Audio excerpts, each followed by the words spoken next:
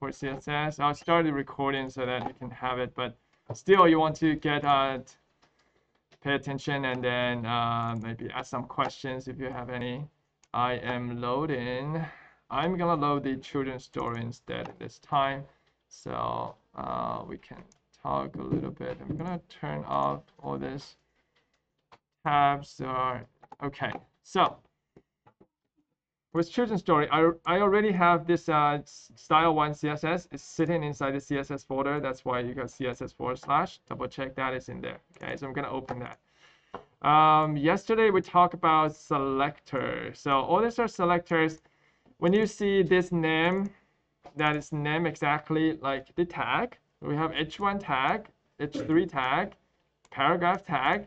This this is saying that this is how it's targeted, right? So this this is a rule saying that the color should be red or the color should be what it what whatever this this RGB RGB file is. It's going to apply to the matching tag. That's one way of applying your CSS. Okay. We're going to talk about another way where you can uh, use the attribute class uh, to do that. So let's see in here. So say I have some images here. If I want to apply some border radius to the uh, border color to the radius or border, uh, well, let's see. Uh, children's story, okay right now it doesn't have a border, but if I want to uh, target all my images and I say all the images should have border uh, to have whatever pixels uh, to have border have this color. I think this comes in order. When we talk about border, there's gonna be, so I don't remember how the, uh, oh, there we go. So with the border, you want to start with the you want to start with the uh, width of the border. So I can say two pixels and the style of the border. Uh, I can say dashed or solid or something, and then the color of it, uh, RGB color, and I can change them here. All right. So that's gonna give me color to border with the width and style that's dashed there are different options. It can be dash or solid or something. Hopefully it gives you some references. If not, I'll put the link in. Anyways, now I have a solid, I have a dash border for all the images. I can make this a little bit bigger just to, know, now it's very, very thick. Now, border radius is something else. Border radius, it's when you want to round the corner we, we, we use border radius. Uh, you can apply to all over. You can say border radius and it's all over 20 pixels. This is going to apply to all four corners. It's going to do that, okay, all four corners. But if I just want to apply to one of the corners, I can also do that. I would say border, uh, border top left radius instead, and then it's going to apply to just one corner and it's apply only to this corner on the top. And if I want to apply to the other corner at the bottom, I could do that too. It would be border bottom right radius. And then I'll be, I will be applying to two corners rather than all four of them. And uh, I can change this to solid, whatever. And then it's a solid, solid border. Now, um, what if I want to apply some style to to a picture and then another style to another picture? Then this will apply this will apply to all images. That wouldn't work. Okay. Say I want some images to have radius and some don't, some have one color, some have another color. The way to do this is to use class. Okay. So class work like this. Okay. First of all, I have to give class value to the target. So in this case, I can say this image over here. Okay, so say this image over here, class, and I'll give it a name. I can name it whatever, okay? I can say uh, style one, okay? And this one has class style two. All right.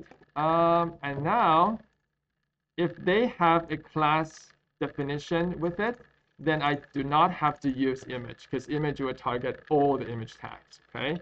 In this case, I would I would say style one, but I can't just say style one because it's going to confuse the system thinking that that's a tag. There's no tag with the name style one. That's a random name that I came up with, right? So I have to add a modifier. I have to say dot.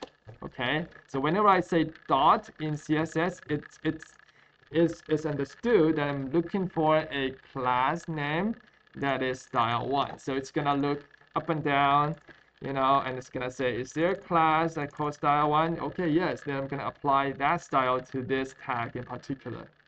All right. So in that case, this is going to apply to just style one and not all the images. So in that case, if I go back to here, it just applied to that one in particular. Okay.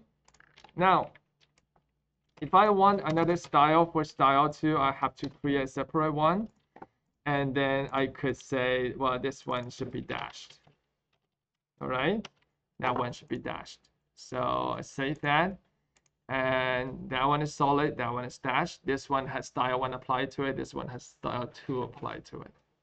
Okay, now I go back to my CSS and I see a lot of repeating codes, right? This is the only line that I wanted to be different, okay? And I'm specifying this twice. So in order to make, uh, to shorten my code, this is called, um, uh, there's a special name for it, what is it called? Um, multiple class selector for multiple things. So I can use comma in between such as this. So anything that is common, I can I can do dot style one, comma dot style two braces. So whatever that is in here, it's gonna share among style one and style two. Okay, so I could say these are common between the two, so I'll move those over. And I can save some of the repetitions. Okay, so in that case, this will apply to both style 1 and style 2. This will apply to style 1 only. That's going to apply to style 2 only. And the result will be identical. All right. Now, since the class it's not attached to any tag, okay? I can do something uh, more interesting. See, style one, I can put this under image, but I could also put this under heading, under, under, under H3. I can also do that. There's nothing stopping me from doing that. Okay, so when I create a definition called style one, I can apply to image, I can, I can apply to heading. Some of the definition may not apply, but I'm just gonna try see what happens yeah, it, it got applied to that text too. Okay, so whenever you create a definition that it's a class, you can use it everywhere. Um, okay. Any any question at this point in terms of how class selector work? Uh, if not, I'll move on. So that's our class selector. Next, I'll talk about font. Okay whenever you specify a font, say for instance here, let's see, I have some paragraph. So uh, now that I know I don't have to apply things to a paragraph, I'm gonna call this paragraph uh, class uh, p style or paragraph style one. Okay, so paragraph style one. I would create the name first and I'll copy and paste to here dot p style one. So that would be targeted. And whatever I said here would be there. Okay, so I can say font, it's called font family. or you can go font size. That would be the most obvious thing, right? You can say extra, large. And then that paragraph would have extra large font. Uh, p style, what does it say? Oh, maybe. Okay, so let's see if that's showing up. Yeah, so that is bigger now under the matchstick. I'm going to apply to this somewhere higher so I, I don't have to scroll down that far. You can to be sure. Okay, so... Uh, okay, so it's applying to here. As you can see, it's making the font bigger. Um, usually what people will specify is the font family. Oopsie. So the font family... Font family are looking like this. This what's would look weird. There's there there are always multiple fonts and sometimes you see quotation around. So this quotation it's applied if the font name is more than one word. It's gonna need the quotation. If the font name is uh, just one word, say uh, this type New Roman it's multiple words, you need the quotation. This Times and Serif, these are just one word, therefore you don't need quotation. So these are identical to this font family that you choose here. So whatever that is that is that is available here could probably apply to. However, you guys know that this font family are actually a font file that is that is in your computer. If your computer does not have that font file, it does not apply. Okay, and that's why when you specify your font family here, it gave you not just one but three this is to make make sure that it's going to try to use the font called Georgia. If that font file isn't available, it's gonna go for choice number two, choice number three, choice number four, so on and so forth. Okay, so when you design your your web page, you might be imagining that hey, I have this really good looking font, which I have, but when people view it on their device, they're gonna see completely different things because they don't have that font file. All right, so in order to resolve the difference, there's something called Google Font. So Google Font is the font file that is sitting on Google server and you'll just be referring to it, right? As long as this, this, this file is not viewed offline, if it's viewed online, there's always gonna be internet connection to retrieve that font file, come back, display on your web page. So when you design it and people see it, it's gonna be exactly the same, okay? How to do it? To do it. So this is the way to do it without the Google uh, font. With Google font, it's going to be similar, but with a link. Okay, so I'm going to show you how to do it. That link, well, what is that? Oh, that's just a, a walkthrough, but you could you can just Google to Google Font. Okay, I should maybe give you a link to that.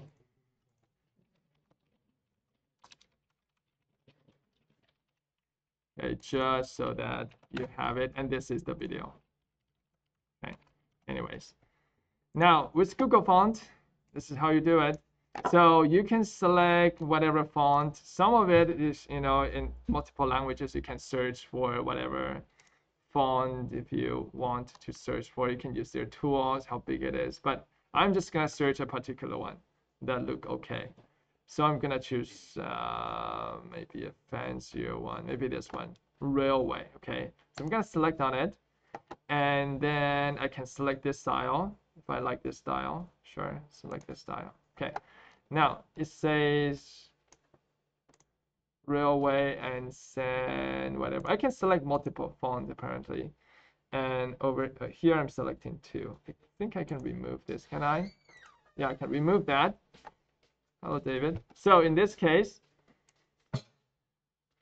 this is the link, and I'm just gonna stick with the link. Okay, so you have two pieces of code. Okay, this piece of code it goes to HTML. This piece of code goes to CSS. Okay, so I'm just gonna copy this, copy this whole thing to HTML and it's going to place in head section. So this is all your resources coming. They don't actually show on your web page, but they are gonna they're gonna link to uh, Google server, font server, and then it's gonna retrieve that Raleway font. Okay. Now you have that resource available. How do you apply to it? Is here font family. Okay, we went through font family tag. Just gonna paste in here font family. Done. Done. Okay. And now you go here it's going to use that font family. Right, and it's going to look exactly the same either on your side or on, on, on someone else's computer when it shows on the device because it will all be going to Google and look for that font and therefore it looks the same everywhere. Question on font family before we move on? No, all right. Um, now in that case, if you're sure, you I, I think it's still safe to to mention like a second or third choice, just in case that this is not viewed online, then it's gonna go with those choices. Uh, class selector, we talk about this. Uh, how to use borders, you have some samples. Uh, background. Um, these are some, uh, oh, if you don't want the border to apply everywhere, you can specify border left, border right instead. So in this case, I can say border left in, instead of border, and this is just gonna apply to one side. It looks odd, but you can do whatever you want. Um, what else mentioning? Saying, um, oh, yesterday we did like hover. I think hover is kind of interesting. You can do hover on the uh, images as well. Let me show you how that goes. Uh, well, anyways, I kind of lost the, I still have it here. Still have it. All right. But where did it go? I accidentally removed that Google font, but you know how to do it right now. Oh, right here, right here. Sorry. Okay, that's better. Hover, hover. So yesterday we did this hovering on the link, right? On the link. So that still works. Hover on the link. You can also apply that to a uh, picture as well. So you can say, when I hover on images, it's gonna have a background color. I don't know if how, how well it's gonna show. Let's test. Uh, sure. Oh, yeah, there we go. It's IMG, not IMGA. Okay, do you see that? So it's showing in here when it's dashed, it's not showing here because it's not seeing through, but um, it certainly have that effect going on. Um, there are also other things that you can do. You can make it show bigger, but I think we will not see those until next one. We can make things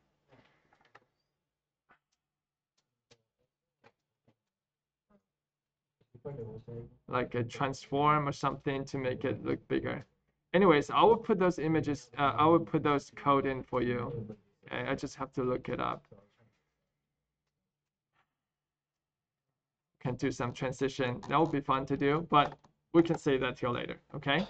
So, oh, for what what you, what to do for part B, you're gonna create two styles for paragraph uh, with class selector two style for images with border, without border, uh, for text highlighting, and for uh, Google font, and two different style, two different style sheet too. Right, so for two, two different style sheet, you have to create an, another CSS file where if you to uh, switch which CSS to use, then your entire web page will look different. All right, I'll stop the recording.